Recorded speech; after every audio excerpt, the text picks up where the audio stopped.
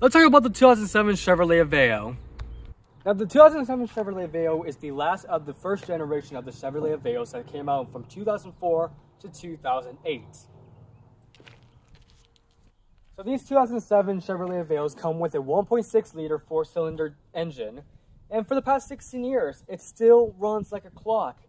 No fancy technology, just the radio itself. But this is a very normal, non-electronic engine where you have to dig around in plastic, dig around with wires and electronics. This is a very easy engine to actually do oil changes, do maintenance on that stuff. Even the spark plugs, they're just coils, they're ignition coils.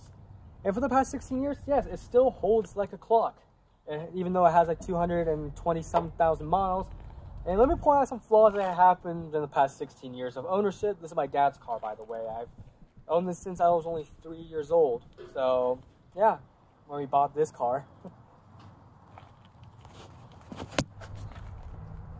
All right, let's see what how many miles this car has on the thing and see if it still runs like a clock. All right, ready?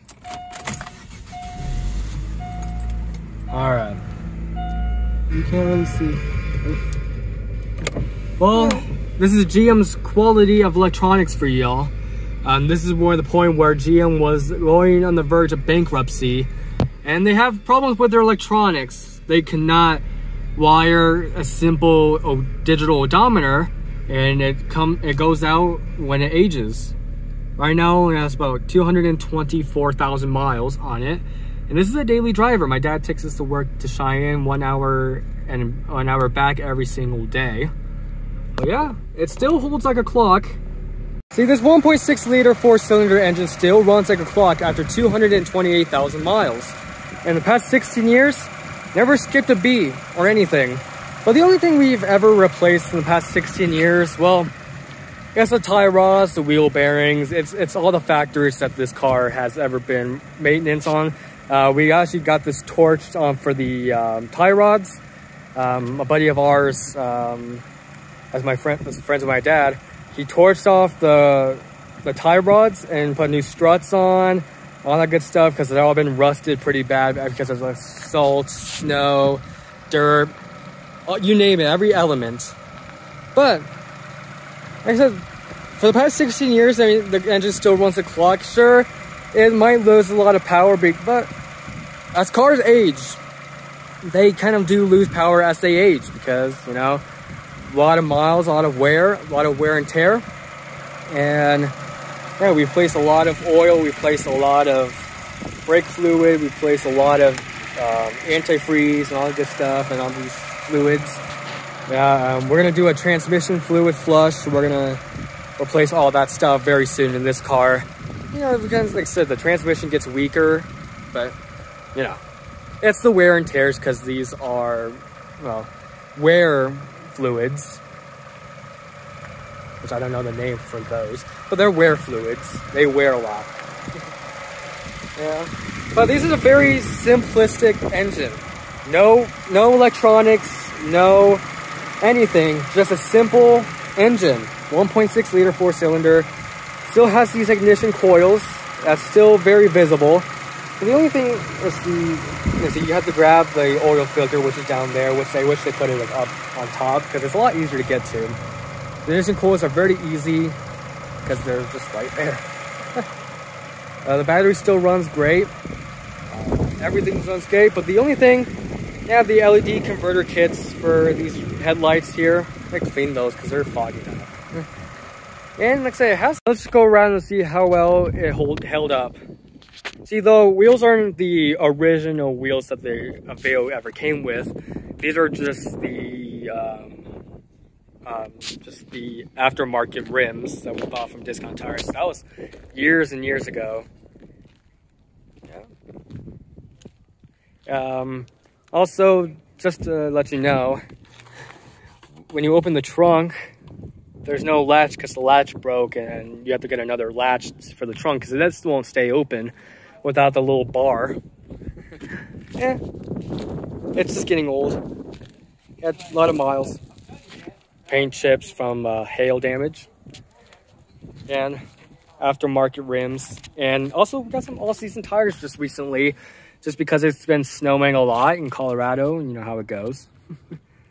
yeah, all seasons. Also, we do have the original tires that the red car had.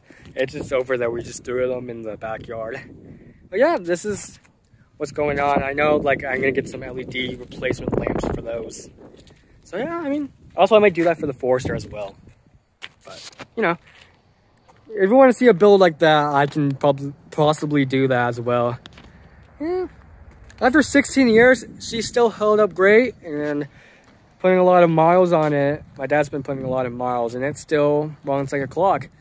So these things have a lifetime around 200,000 miles and well, lucky enough, if you do the proper maintenance and do the, you know, the work and by putting new oil, new spark plugs, it comes a long way. It can last, cars can last a long time if you know how to take care of, of them. That's why I told you in the last video about Subarus. If you know what you're doing and you know how to take care of them, well, they can last a very long time. You don't have to deal with problems like that. Well, 224,000-ish miles, maybe 20, 228,000, I don't because GM's quality of electronics still runs like a clock. Now, this car was bought in 2007 during the time where the Great Recession was starting. And if you guys don't know about the Great Recession, the Great Recession was actually started in, back in 2004 by a company called Enron. It was a fake scam company where they stole billions and billions of dollars out of the economy, which led to our economy tanking. The house market ran up, inflation started going up, and this is the only car that was only selling the 2007 Chevrolet Aveos and the other compact cars. And they're, yeah, I mean, this is during the time where GM was also going bankrupt, and I told you guys that GM has some poor quality with electronics.